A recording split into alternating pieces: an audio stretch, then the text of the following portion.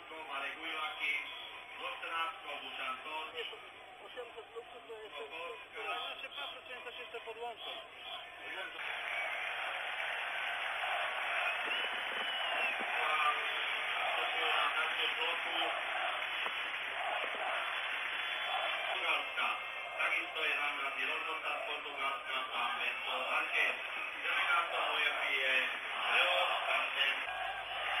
Simon.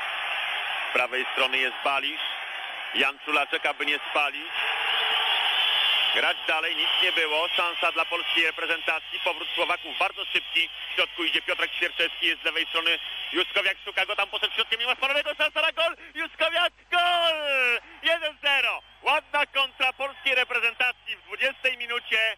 Wykorzystanie do końca. No i Andrzej Juskowiak, jak to czynił z wyjątkiem Rumunii, zdobywa bramkę dla polskiej drużyny.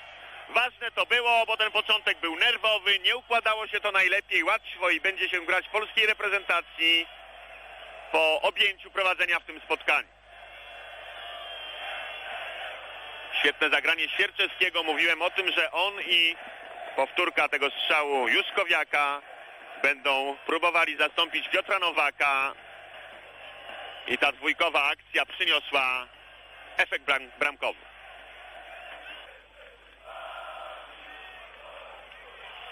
Walisz. Titel.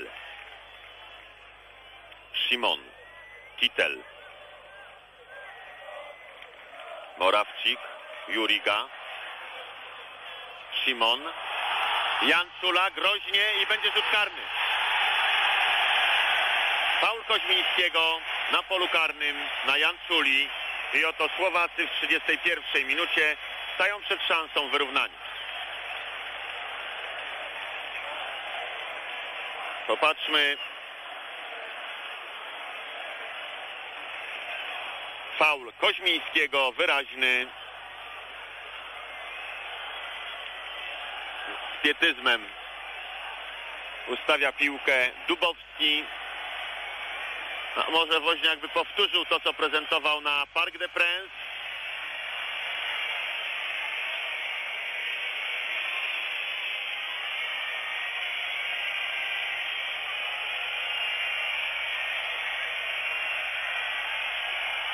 I jeden do jednego.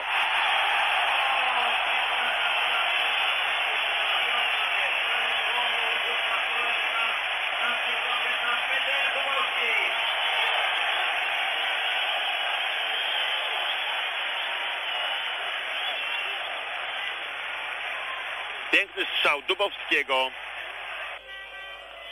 Boisko opuści Roman Kosecki. A wejdzie na nie Czereszewski. Kosecki oddał opaskę kapitana Juskowiakowi.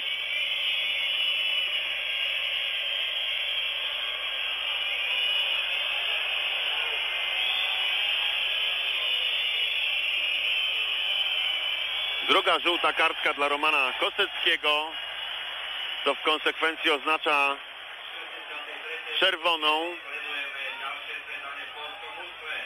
Tak jest. Za opóźnienie zmiany. Znowu łatwa strata. Ładne przejście Jurigi.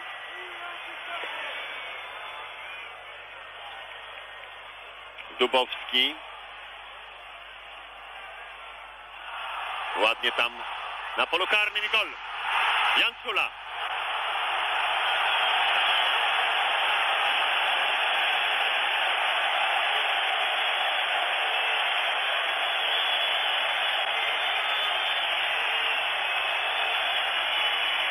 A więc Jancula w każdym z ostatnich spotkań eliminacji Mistrzostw Europy dla reprezentacji Słowacji strzela bramkę. Ale widzieli Państwo, nikt nie pilnował Janczuli. Przypomnę, że od 65 minuty polski zespół gra w dziesiątkę.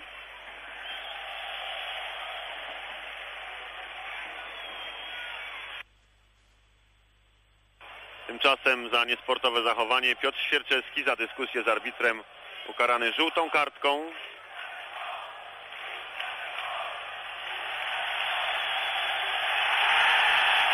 I czerwona. No i proszę Państwa, najpierw żółta kartka. Świerczewski jeszcze dyskutował z arbitrem, co skończyło się drugą żółtą kartką i w efekcie wykluczeniem drugiego naszego zawodnika udziału w tym meczu. Kończyć będziemy w dziewiątym.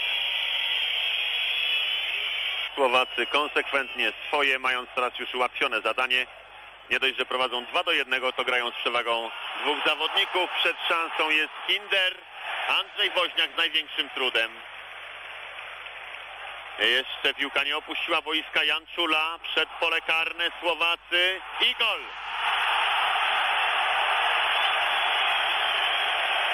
3-1.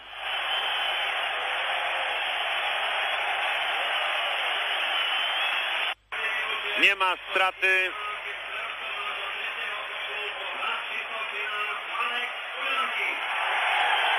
Ten, który wszedł, proszę Państwa, niedawno na boisko, występując w reprezentacji Słowacji po raz drugi, gracz Dukli Bańska Bystrzyca, Marek Uliaki, strzelcem trzeciej bramki.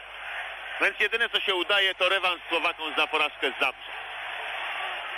I myślę, że może im się udać w pełni, jak tak grać będą Polacy do końca. Nawet piłki nie potrafimy wybić w tych momentach zagrożenia.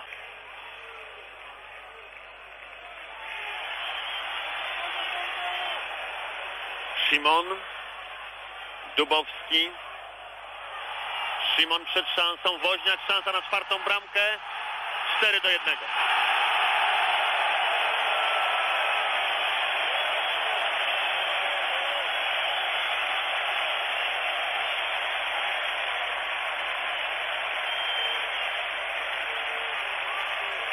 Oś, 83 minuta meczu.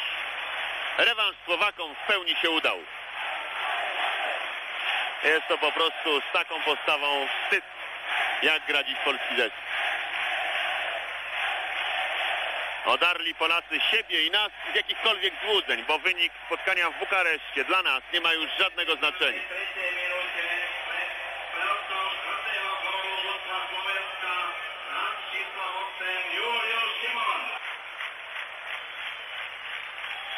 I koniec. Rewanż za Chorzów w pełni udany. Proszę Państwa, fatalnie rozpoczęliśmy te eliminacje, żałośnie je kończymy. Spotkanie z Azerbejdżanem nie ma najmniejszego znaczenia. Polska reprezentacja w żenującym stylu pożegnała się z szansami na występy na boiskach w Anglii. Pożegnała się z szansami, ocierając wszystkich nas kibiców z jakichkolwiek złudzeń.